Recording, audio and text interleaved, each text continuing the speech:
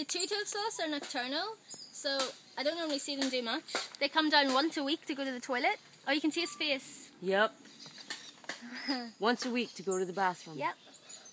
And apparently, I